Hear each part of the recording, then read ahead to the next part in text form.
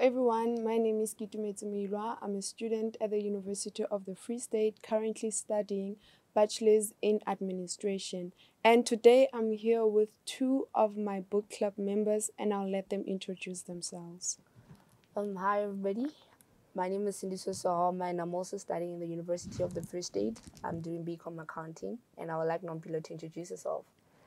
Hi guys, my name is Nompilo Kumete. I'm a student at the University of Free State studying Bachelor of Social Sciences. Today we'll be reviewing Frankenstein by Mary Shelley in line with the Mandela Month.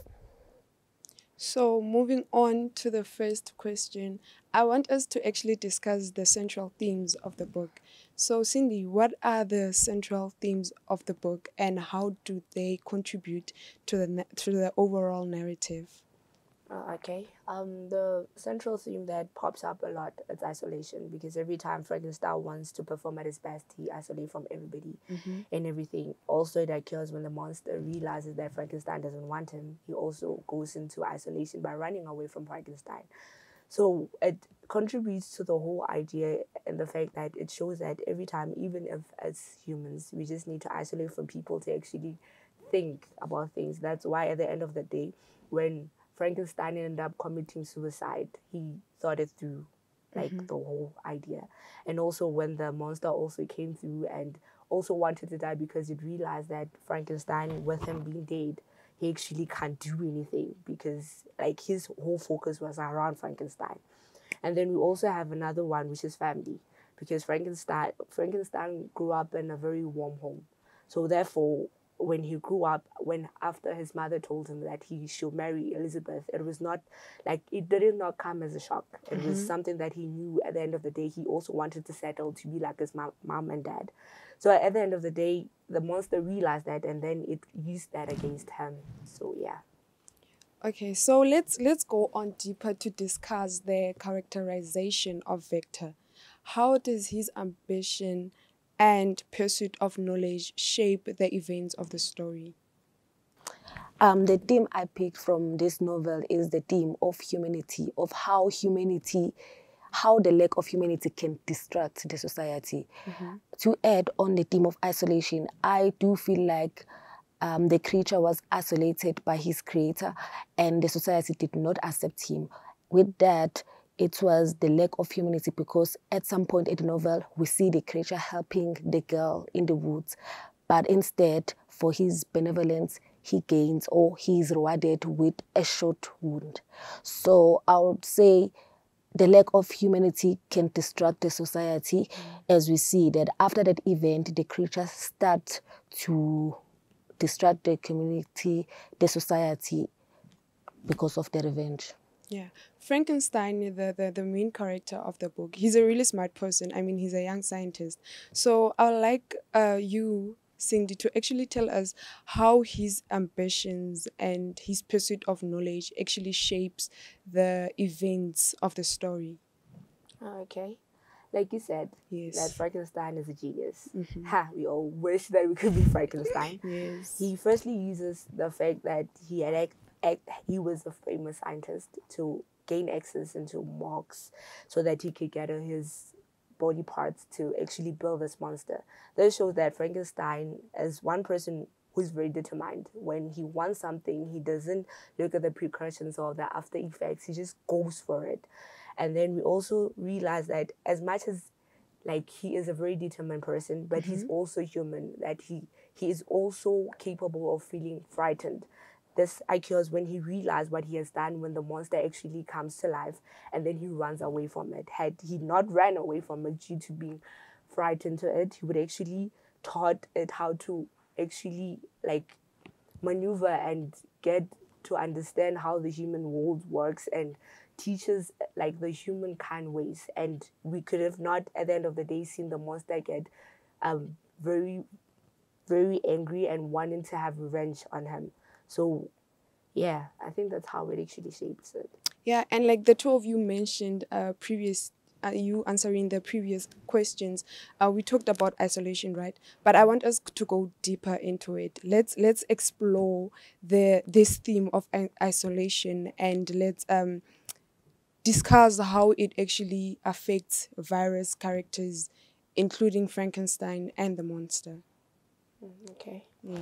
So, um, with Frankenstein, I feel like the isolation didn't affect him as much, but it did affect his family mm. because they kept on writing for him, and his friend Henry tried to reach out to him. As for the creature, the isolation played a huge part of him because he was isolated in the woods. He lived in hiding while he wanted to go out there to seek love and affection from the world. But because of his deformed physique, mm-hmm. he couldn't achieve that. And that isolation again led to him gaining the destructive personality because he wanted to be human. But at the end of the day, he was not fully human or he wasn't a, a normal human that the society could accept. And uh, Cindy, how do you think like this uh, actually isolation? Since well, we're focusing on the theme of the month, which is Mandela Month, how do you think isolation uh, shaped the overall character of Tata when he was in prison? Oh, Okay, like I said, when it comes to Frankenstein, every time he wanted to to be mm-hmm. at his best and with his thoughts, he isolated. So I think for Utata, it was at advantage because at the end of the day, he was left in prison and then he had so many minutes and times to actually think of what he wanted to become when he actually is released from prison. That's why when he becomes released, he goes on and to live his world, his life. He does all the things that he was incapable of actually doing while he was in prison because of isolation. He knew that he he missed his family. That's why he spent most of his time with his family. Hence, even when he wanted to be voted again, when people wanted to vote him back into power, it's like, nah, I'm done. My rule is over because he knew at that time all he wanted to do was to actually be with his family. Yeah. Okay, moving on to the next question. Um, let's let's explore more on the moral and uh, ethical, you know, implications. How does the writer actually? How does the writer uh, Shelley uh, explore the consequences of playing with God? I mean, Frankenstein tried to bring life by using uh, uh, human human bodies that that uh, actually died, like people who actually died. He took their bo- body pieces and tried to create uh, a life in it. So, how do you? Um, firstly, I would say it's unethical for it was unethical for Victor to steal the decayed bodies.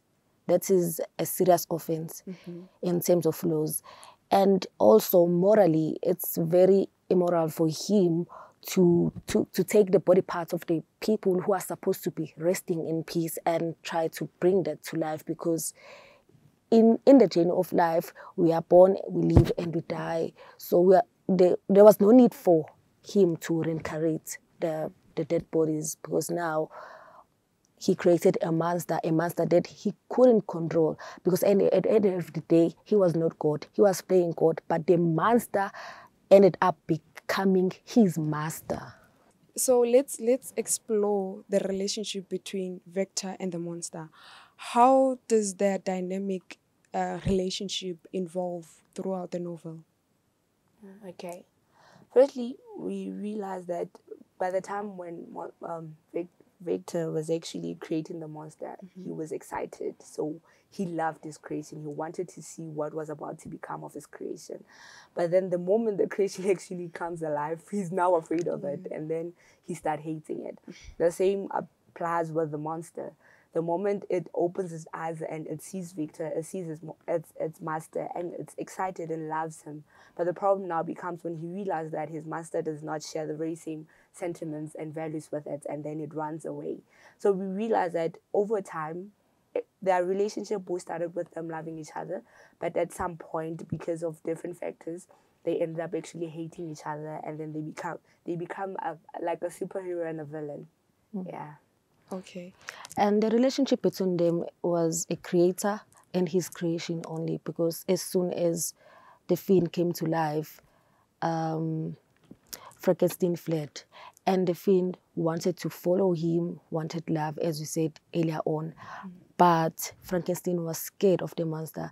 And after the monster started distracting um, the community, the society, when he started killing his brother, and then it didn't. Now it progressed to being an enemy. At first, he was scared of it, but now it became his enemy. As we see towards the end of the novel, he was seeking him and wanting to end him.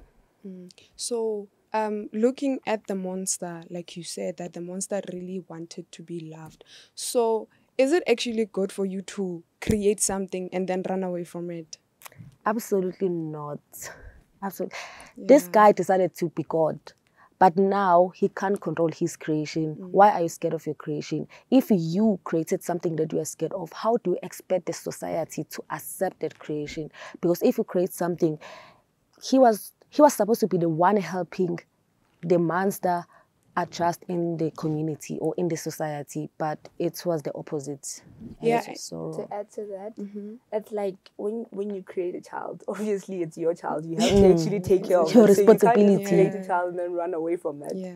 So yeah. And and coming and coming to the society, how does the society norms and their expectation like really shape the character of the monster? Ah, okay. Um, as much as I feel for the monster, but I feel like I don't blame the society for how they reacted because we are seated here. If something of that creation comes along, I'm sure we would would run for our lives because um, he's described as having a yellow skin and abnormal eyes. So he was ugly, and the community felt like they were in danger, they were in peril. So there's nothing they could have done. Yes, they were wrong for not giving it a chance, but who would give a monster a chance? Yeah, but but coming to that, ne, um, I mean, like for instance, uh, the, the the the victor is the one who created the monster, Yes. and obviously, when you're creating something, you're actually seeing the progress on how it's going to look like. So it it actually surprised me that he, in fact, was scared of what he created because when you like building something, obviously you can see what you're building Exactly. right? And so him building something that he's going to be scared of at the end is just yeah. So moving on to our next question. Uh, let's analyze, right? Let's analyze the use of framing devices and multiple narr- narratives in the book. So with that, I feel like the author did an exceptional work in writing in that style because the, the book is written in the first person's point of view, which means we can we, we get a chance to be the characters, feel their emotions, to be them, to be in their shoes. Um, I remember when I read the tale of the monster, I felt how sad he was. I felt it because it seems like when I was reading, it was like I, I, unlike when it is in the third person point of view where it's like a she or he it's like it's it's too objective. So for us to feel and to be attached to be the, to the characters is through the first person's point of view. So um I, I like that so much in the novel Yeah, and also the use of graphics, the way how they they actually go into details with the graphics is like you're there, you're in the middle of the story, mm. you get to understand how everything is affected with each other. Mm. So yeah. and also the use of imagery to describe the emotions of Victor Yeah. So the writing style was exceptional. Yes. Or and also to add on the writer's writing style, it was very challenging for me at first because it's a classical literature and the writing style is not the same as the modern one. However, the challenge was good for me and I liked it. You liked it. Uh, you know, and for me, it was my first time reading a horror story. And I couldn't read the book at night, actually. I, I, I preferred reading it during the day or in the morning because it was really frightening. And to actually go through how the monster was feeling when the monster wanted to share um, his story to his creator, it was really fascinating. So now I want us to reflect on the novel as a whole. Let's try to get what the um what the writer, the message the writer was actually trying to give us. What do you think that message is? Okay.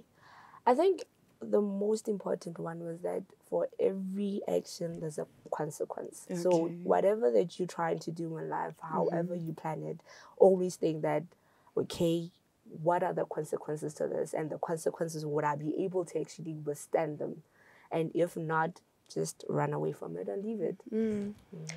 Um, in terms of literature, I don't think I can be able to speculate the author's intent. However, the message that I, as a reader, got from the novel is again humanity, humanity, and to add on what on what Cindy said, um, every action has a consequence, and you should be able to be accountable for what you have done. Because uh, the message that I really received while I was reading the book is we shouldn't actually judge uh, the book by its cover. I mean, what if like from the start, the monster was a really good, Mm. good creation. Yeah, right. Like he had feelings. Mm. He began to learn things, and if only. Uh, people could actually hear him out and give him a chance, not looking at his uh, physical appearance. I think the events that followed after him, the monster meeting up with the with the with the with the society, and also Victor, it wouldn't have led to Victor's uh, brother getting murdered and him, you know, committing suicide. True, even after the death of Victor, the mm. monster did feel some sort of remorse mm. because he regretted what he had done, which means even after the society treated him badly, but mm. he still had Still that have that. Yeah, yeah, that's true. So, Cindy, what are your last thoughts on the book? Like, would you really recommend it to someone else to read? Because for now, I think I'm gonna stay away from horror stories. Yeah. So, what would you? What will you? Will you uh, refer the book to someone else? Yeah, I would actually, I would actually do because at the end of the day, firstly, it enlightens your imagination. It mm-hmm. it gives you that sense of creation that a person can actually write something that you can relate to, mm-hmm. and then that can actually take you from your couch to actually inside the book, and you feel like you're part of the book whatsoever. And also the mere fact that it teaches us that as people, at the end of the day, we become what we are constantly exposed to. Because had the monster not actually being exposed to being bad he mm. would have not known bad so at the end of the day it teaches us things like that so i would actually actually do recommend it to people Mm, what about you? I would too, as I said, um, I was unfamiliar with the writing style, but I was able to think out of the box and think critically. And yeah, also as a literature student, it challenged me to look at all the perspective of the literary devices, the everything that has to do with literature, and I would recommend it to someone else. And I think it was very critical of us to take that horror book and also be able to relate it with the Mandela thing because mm. we can see that it's two different things, but we're able to find some sort of connection and correlate it. And that's it from us, the book club members. Remember that we're having these reviews each and every month, and this was our second review. So we hope to see you guys next month. Stay safe. Bye. Bye.